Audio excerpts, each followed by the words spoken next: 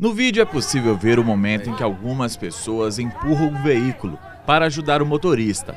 A cena foi registrada por volta das 11h30 da noite. De acordo com a Prefeitura de Vitória, a Guarda Municipal foi acionada para dar apoio na retirada do carro, que teria entrado por engano na escadaria.